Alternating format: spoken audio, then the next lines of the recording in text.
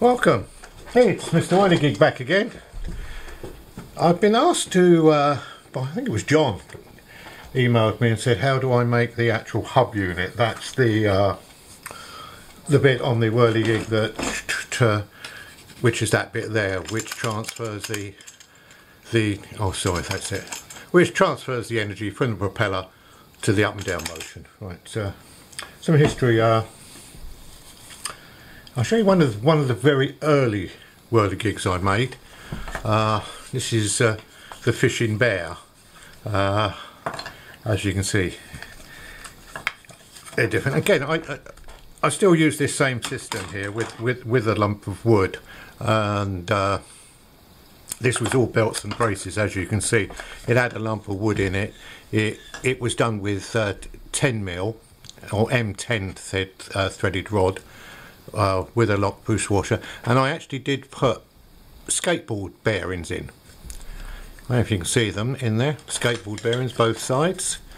Yeah, so we did two skateboard bearings and then uh, we we put a nut either end to hold the, the rod in, in place with a shake proof, proof washer on it and uh, not shake proof washer, they're shake proof nuts, sorry. And then there was a nut on the end that pushed a bit of wire on there. So that was the, original way of doing it uh, uh, with bearings and everything. But but we went away from that because it's actually quite heavy.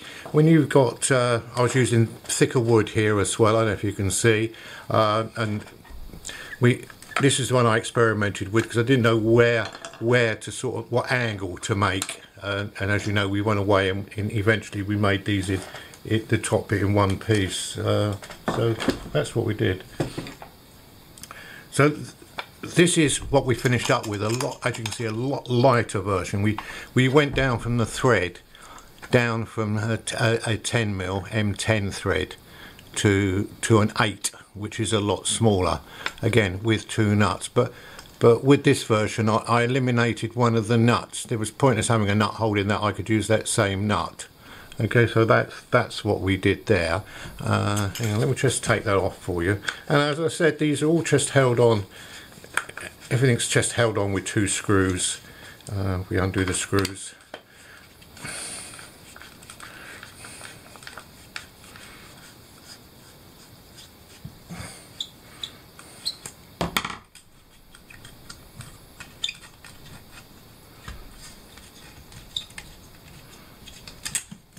There we go. So we take that off. So, so this was the unit there. As you can see, literally there was no need to have bearings. I use these these plastic bearings in there, and with the end bit here, I if we can keep that in focus for you. Uh, what we do, we we actually with the thread, the threaded thing, I filed a flat bit on there, not too much, just a little bit of a flat bit, so I could then put a centre, a centre spot in there with a punch, so that when I drilled it with a, I think it was a two millimeter drill, uh, I could put the wire wire through the hole. Yeah, can you see? Yeah, we can put the wire through the hole, and then we just did the nut up to the wire, held it nice and tight.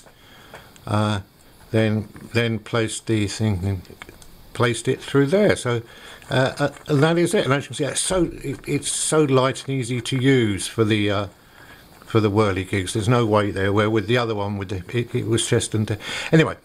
So we used. Uh, these, these these these plastic bearings and I suppose I've got about a hundred of these left and as I'm not uh, there you go. That's what they look like. So if you can find find anything. But a lot of people have had great problems in getting these. So look I've got a hundred of them left. And I thought well they're only going to finish up in the bin aren't they? So what I've decided to do is if anybody wants any if you go on my it's not my but it's my wife's uh, eBay account we don't have to go just go on eBay.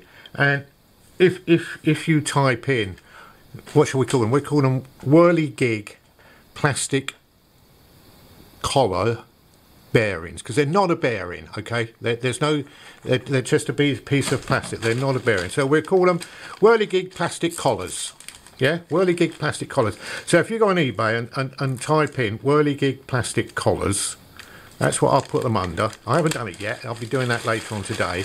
Whirligig plastic collars. And what we do, we do them in a a pack of 10. Yeah, because you, you, know, you might as well have 10. It's the same price. And, uh, and we're going to charge uh, £2 for 10 plus postage. Uh, postage is about £1, about 150 postage and packaging. And then what we do is we will uh, send them to you in a nice little envelope like that in there and you'll get them. Okay so if you go to uh, if you type in on ebay whirligig plastic collars.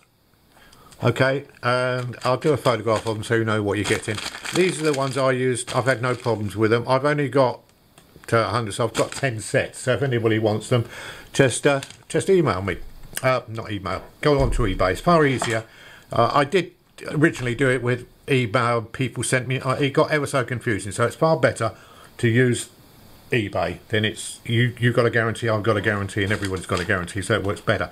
So I thought. So that comes to me. Then somebody else came on last night. I'm, I'm thinking, how can I sell these? And said, uh, hubs. How do you make the hubs? And as you know, I, I make. I make the hubs. I made them all myself, and uh, these these hubs here and I, I cut them out and somebody said oh yeah we've got to get a bandsaw can we get hold of hubs so why not? If I if I'm gonna sell bearings I might as well hubs mightn't I? So look I haven't got many hubs. Look uh, oh I ain't got many. I'm not sure how many of those there. Look uh, how, how many is there? There. 2 4 6 8 10 12 14 16 18 20 22 22 hubs. So there you go. So we've got uh, hubs, but you know they are quite easy to cut out if if you want to cut them out yourself. Now they are they are let's get it in focus. They are homemade. You know, and as you can see, I, I they could possibly just do with a little bit of finishing. Uh, and what I'll do is I'll do. How many can we get in the envelope? Let's have a look. We got the envelopes here. If we can get if we can get two in the envelope,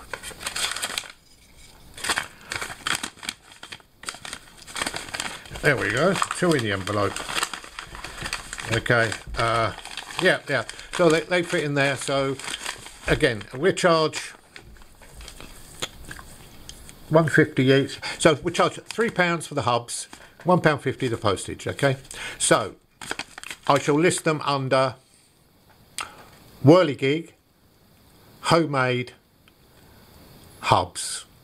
Yeah, whirligig homemade hubs. If, so if you go on eBay type in Whirligig homemade hubs. Hopefully you come across it. If you don't come across it, get back to me and I can give you the reference number on both the hubs and the bearings. If, if, if you want them, if you don't want them, don't worry. It's no, uh, you know, they've only just sat in my box for absolutely ages, uh, not doing nothing. As I've not made a whirligig now for two years since since we moved house, which was a shame. But there, there you go.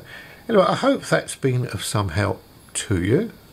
If it hasn't, it hasn't. If it has, it has. Good. Let's put this back together. If uh, there's any more information, you know, any ideas, what you want, uh, I've been, uh, somebody wants to know if I can do a chicken. yeah, yeah, a chicken, yeah.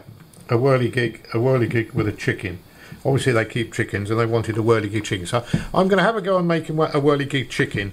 So rather than go back as I used to and, and make them for business, what I'm going to do is I, if somebody wants well I'll just do a one-off just as a hobby. Uh, then there's no chase. I'll, I'll, I'll, just do as a hobby. And then I'll show you show you on YouTube how I now that's all back together now how I make it and what I do. So anyway Nice to speak to you all again. Uh, hope you've enjoyed the little video. Be good.